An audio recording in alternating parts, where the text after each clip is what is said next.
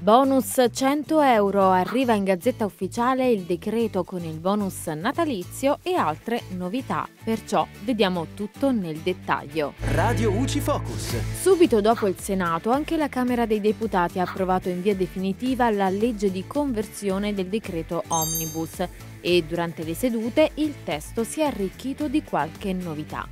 La prima riguarda sicuramente il bonus 100 euro destinato alle famiglie con reddito complessivo 2024 inferiore a 28.000 euro e composte da un genitore lavoratore con coniuge e almeno un figlio a carico, oppure da un genitore lavoratore e almeno un figlio a carico.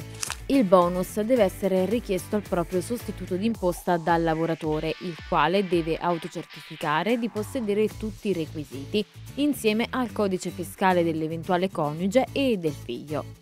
Poi i 100 euro saranno pagati direttamente nella busta paga di dicembre insieme alla tredicesima.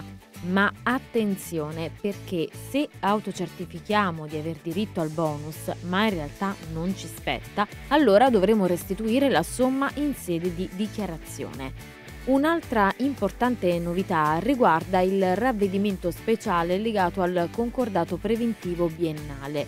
Infatti con il decreto viene introdotto un condono che permette alle partite IVA di sanare eventuali omissioni dichiarative del periodo che va dal 2018 al 2022 ma solo se aderiscono al concordato preventivo biennale entro il 31 ottobre 2024. C'è poi la questione del catastale per gli allestimenti mobili in strutture ricettive all'aperto, il decreto Omnibus prevede che dal 1 gennaio 2025 roulotte, case mobili, caravan, eccetera, situati in strutture ricettive all'aperto, non dovranno più essere inseriti nella stima diretta della rendita catastale. Quindi le strutture ricettive a partire da gennaio 2025 dovranno presentare gli atti di aggiornamento geometrico per la nuova mappa catastale entro il 15 giugno 2025 e gli atti di aggiornamento del catasto fabbricati.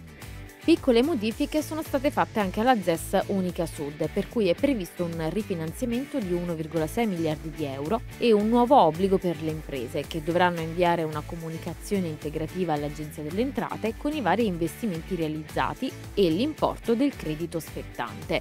Questa comunicazione può essere inviata a partire dal 18 novembre fino al 2 dicembre 2024. E infine due importanti proroghe sulle scadenze fiscali.